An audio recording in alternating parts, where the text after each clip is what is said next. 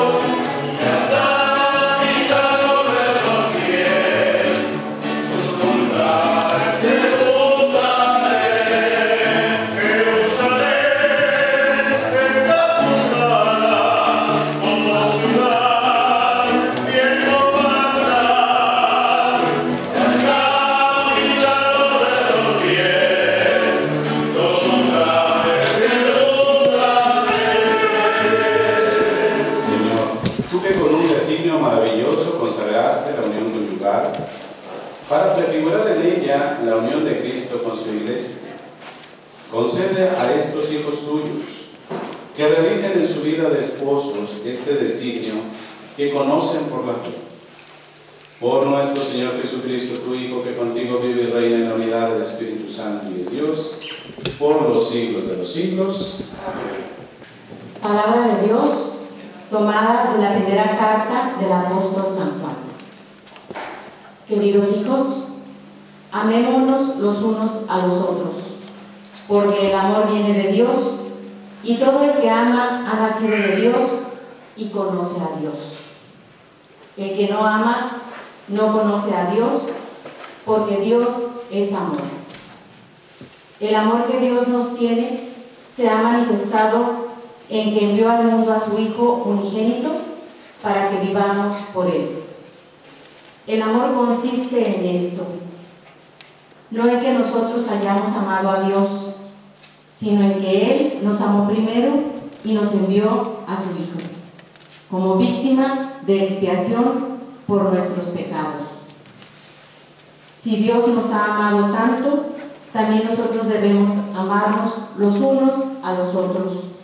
A Dios nadie lo ha visto nunca, pero si nos amamos los unos a los otros, Dios permanece en nosotros y su amor en nosotros es perfecto. Palabra de Dios. El Señor es bueno con todos. Aleluya. El Señor es clemente y bondadoso, lento al enojo y lleno de ternura.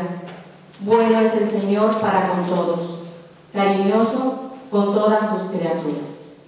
El Señor es bueno con todos. Aleluya. Que te alaben, Señor, todas sus obras y que todos tus fieles te bendigan todos vuelven sus ojos hacia ti y les das a su tiempo la comida. El Señor es bueno Siempre es justo el Señor en sus designios y están llenas de amor todas sus obras. No está lejos de aquellos que lo buscan, muy cerca está el Señor de quien lo invoca. Señor es bueno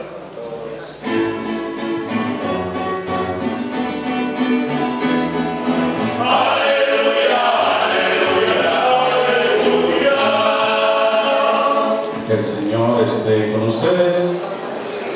Del Santo Evangelio según San Mateo.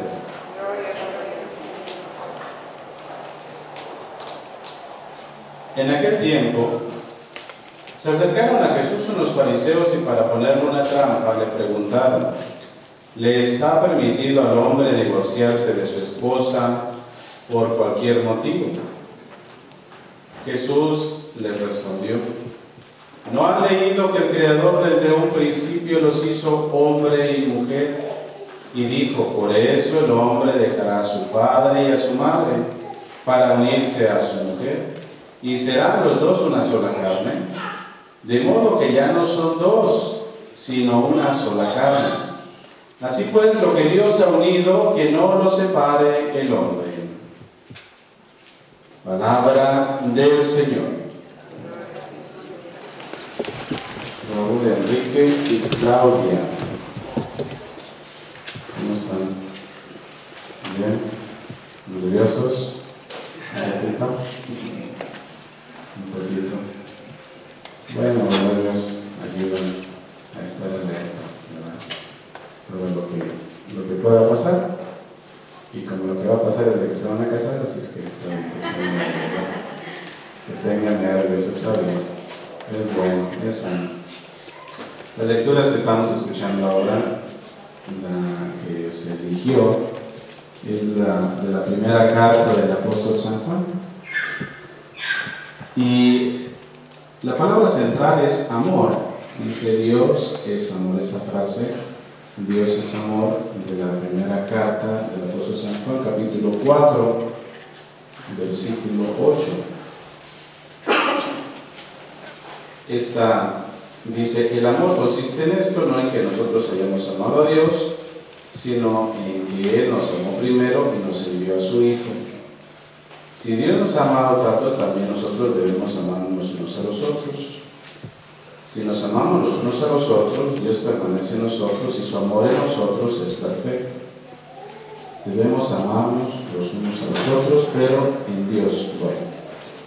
Esta lectura de San Juan nos recuerda en, este, en esta celebración del matrimonio que aunque ustedes ya en el noviazgo han decidido unir sus vidas en santo matrimonio, lo primero que no se les debe olvidar y que tienen que tener presente es amar a Dios.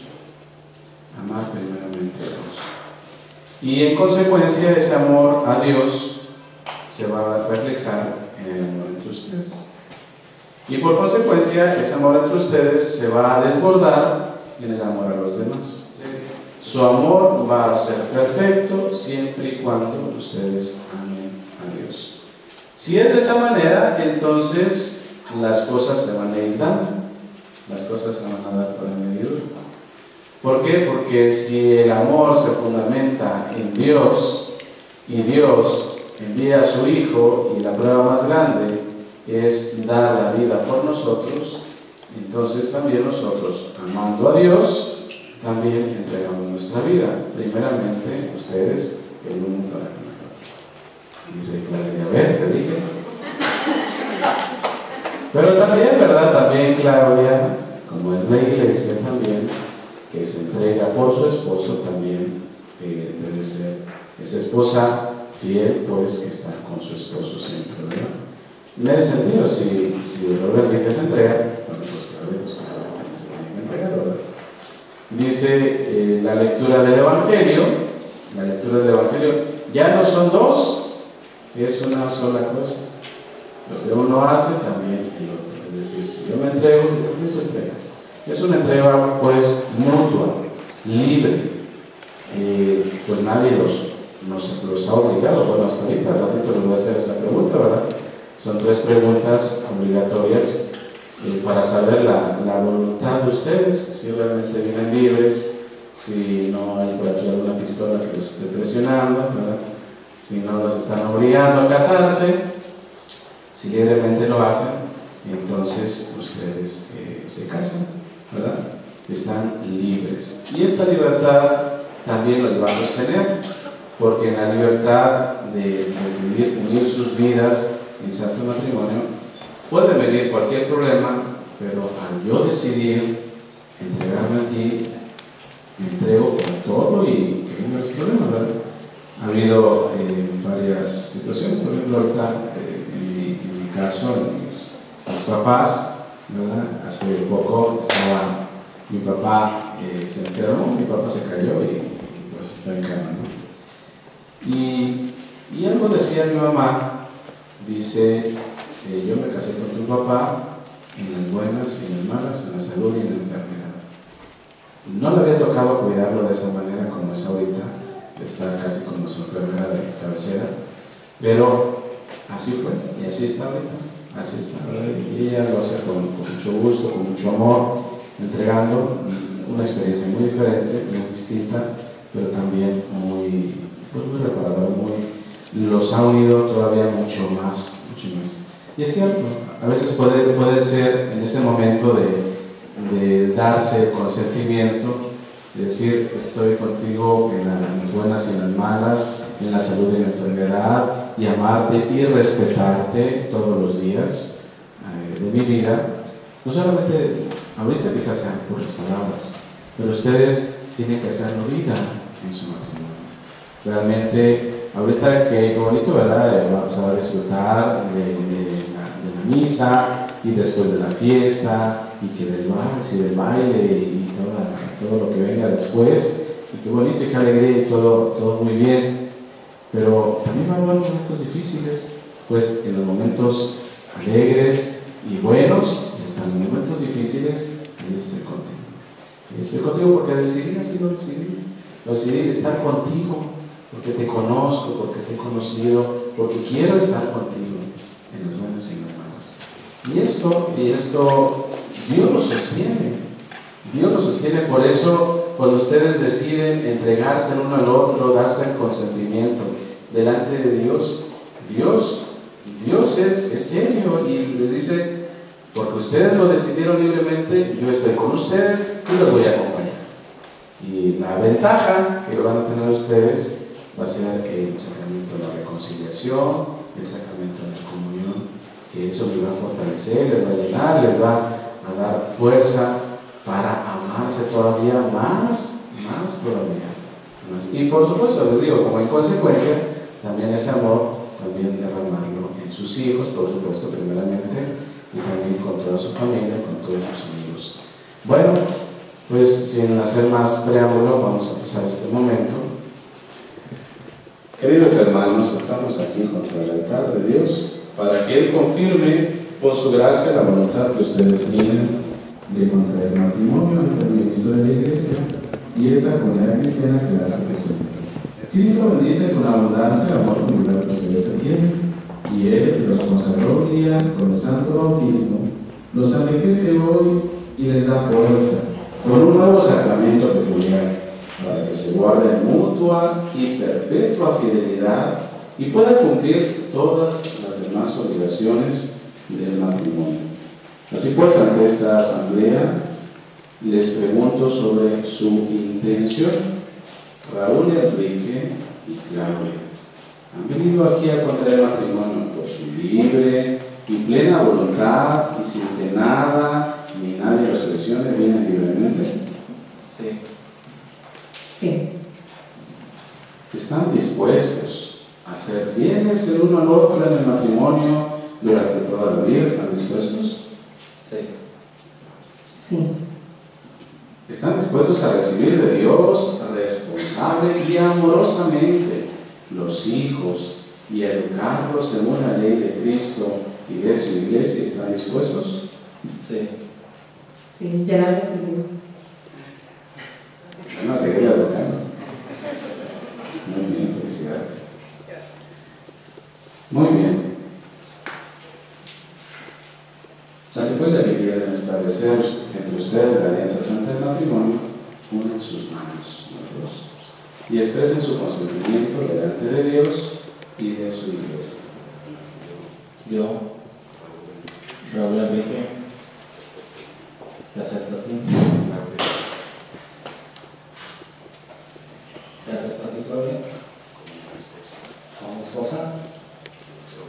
Prometo serte fiel alegrías y en las penas, en la salud y en la enfermedad.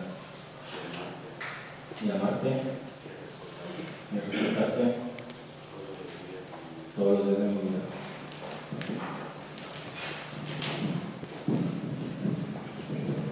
Y yo, Raúl, te acepto a ti, Raúl Enrique, como mi esposa y prometo serte fiel en las alegrías y en las penas, en la salud y en la enfermedad, y amarte y respetarte todos los días de mi vida. Que el Señor confirme con su bondad este consentimiento que han manifestado ante la iglesia y cumplen ustedes su bendición y lo que Dios acaba de unir, que nunca lo separe el hombre. Todos, amén. Vamos a darle un fuerte aplauso a los nuevos esposos.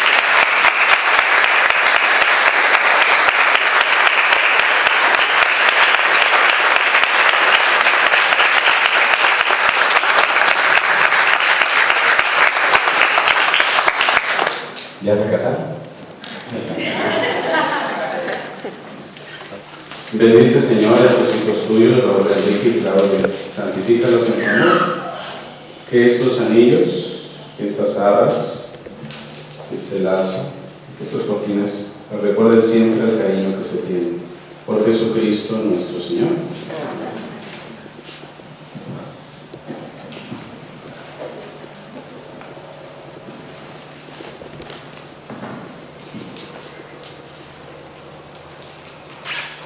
Claudia, Recibe esta recibe ese anillo como signo de amor. y de que del Padre, En el nombre del Padre, del Hijo y del Espíritu Santo.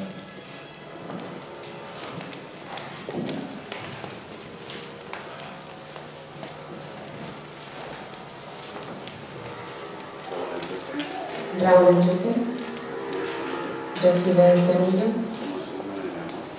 como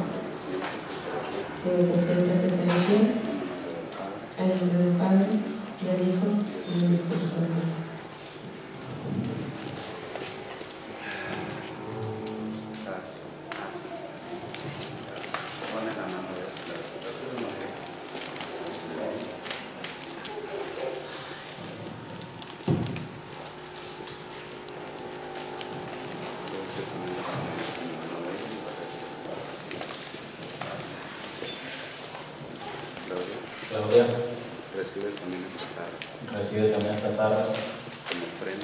Como ofrenda como de la bendición de Dios. De la bendición de Dios. Y del cuidado que tendré y del cuidado que tendré de que no falte lo necesario. De que no falte lo necesario. En nuestro hogar. en nuestro hogar.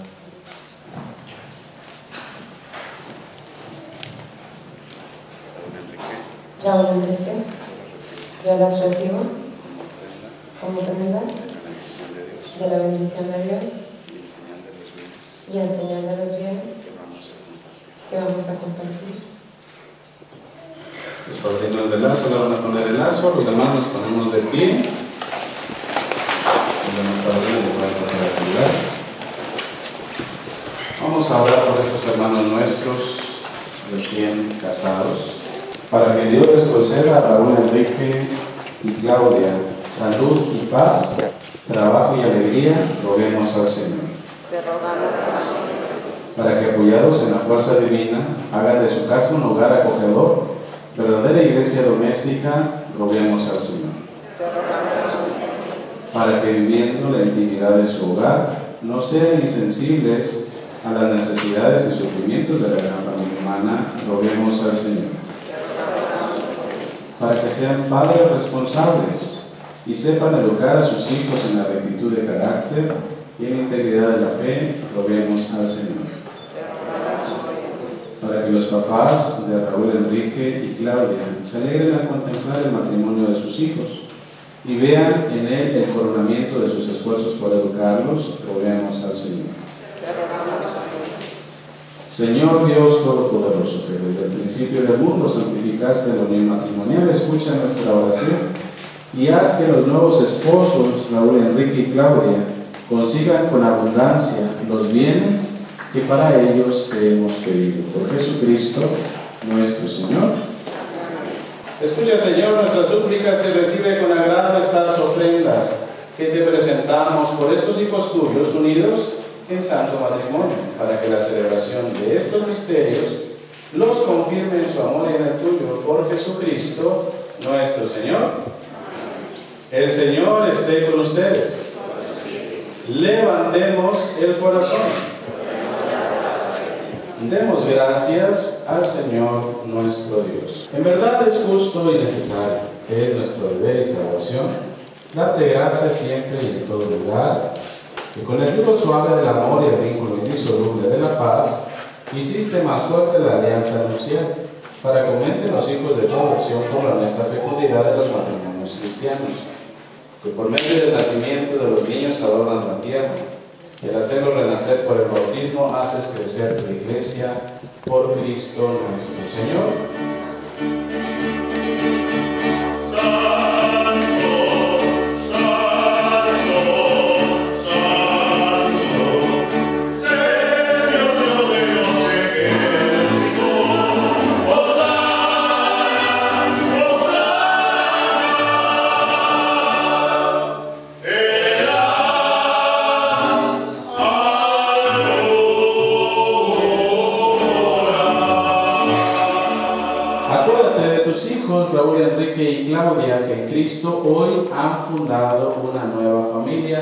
Iglesia doméstica y sacramento de tu amor.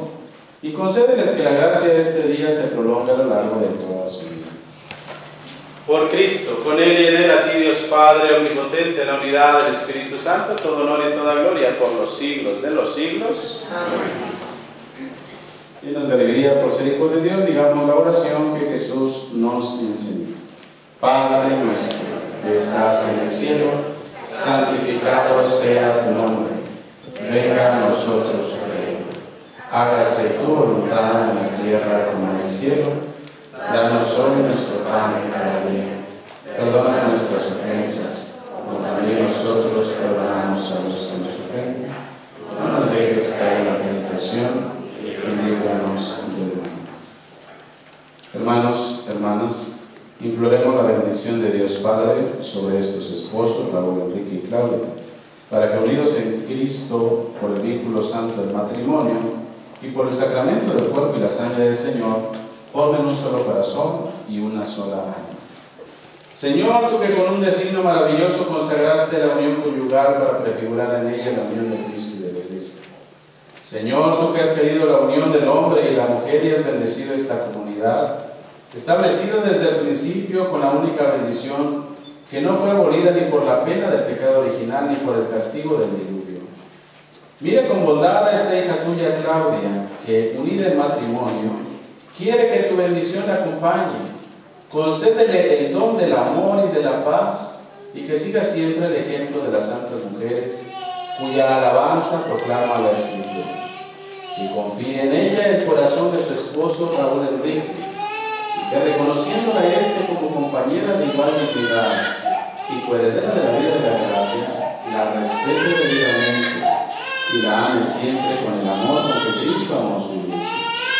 Y ahora, Señor, te suplicamos que estos hijos tuyos permanezcan ligados a la fe y a tus mandamientos, sean fecundos en hijos, padres intachables, vean ambos a los hijos de sus hijos, y transcurrida una ancianidad feliz, alcancen la felicidad de los justos en el reino de los cielos, por Cristo nuestro Señor. La paz del Señor esté con ustedes.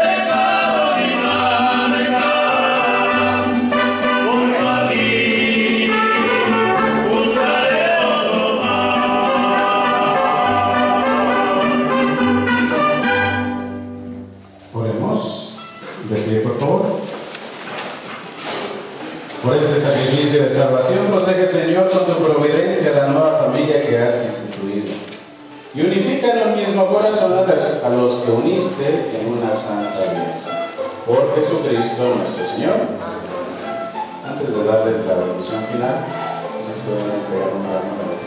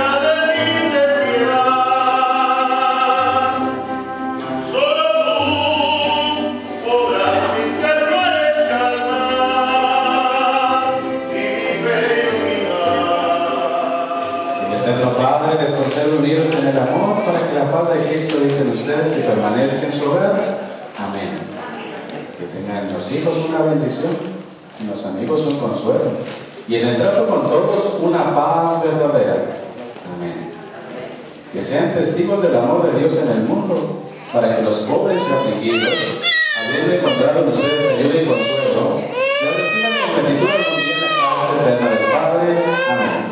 Y que todos ustedes aquí presentes les bendiga Dios Todopoderoso, Padre, Hijo y Espíritu Santo, que siendo su bendición para siempre. Amén. Podemos retirarnos en paz, nuestra celebración la hemos terminado. Demos gracias a Dios.